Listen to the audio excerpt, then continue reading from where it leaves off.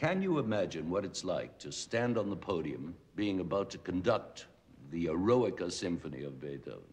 One is at last face to face with Beethoven the giant, Zeus with the thunderbolt, Thor with his hammer.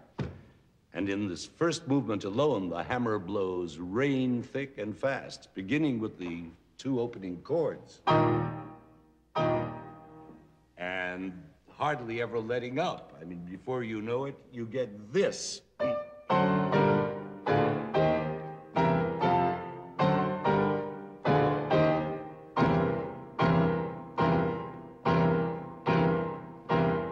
And before you know it, you've got this.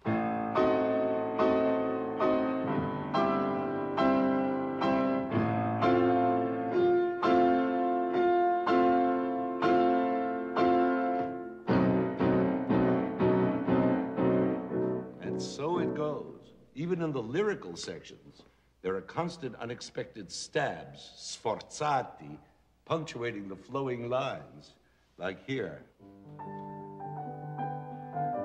There's one place where you wouldn't expect stabs, but they come. Boom, boom, boom. Little stabs infecting this flowing line. There's no let up in this tension. Beethoven stamps and howls his way through more than 15 minutes. And that's only the first movement. All in all, he keeps it up for a good 50 minutes. But it's not all stamping and howling. People tend to pigeonhole composers as well as artists in general. And Beethoven's pigeonhole is clearly labeled the raging titan. He stamps and he howls. Charm, for example, is not one of the attributes usually associated with Beethoven, nor is the gift for pure melody, as it is associated with Schubert, say, or with Tchaikovsky. And yet, there is charm abounding in this symphony, as well as one of the prettiest tunes on record.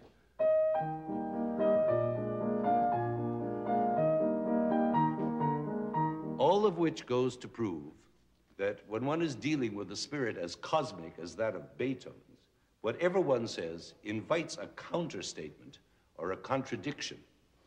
The answer to the Beethoven phenomenon is not really expressible, except in terms of the mysterious genius of a man who is capable of uniting all contradictions into one single perfect entity.